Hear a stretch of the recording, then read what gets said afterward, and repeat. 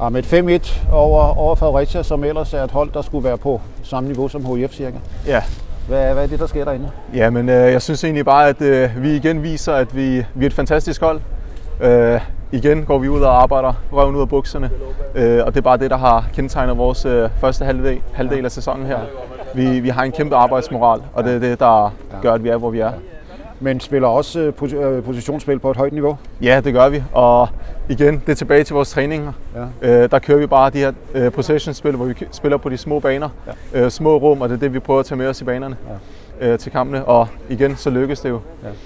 Så, så kommer der et udfald øh, i slutningen af første halvleg. Ja, Hvad sker der der? Ja, det er egentlig lidt bøvlet. Jeg kan ikke helt huske situationen. Vi- De har et indkast på højre side af banen, får ja. den vendt.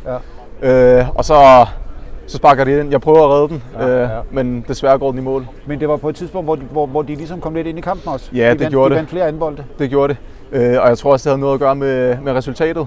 Vi får en 3-0 på det tidspunkt, og der skal vi egentlig bare En farlig føring. en, en farlig føring, kan man jo godt sige.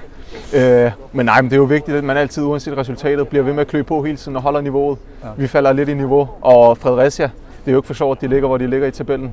Og det er det, der gjorde udslaget, at øh, vi mister lidt niveau, de holder deres, og så kommer der en scoring ud af det.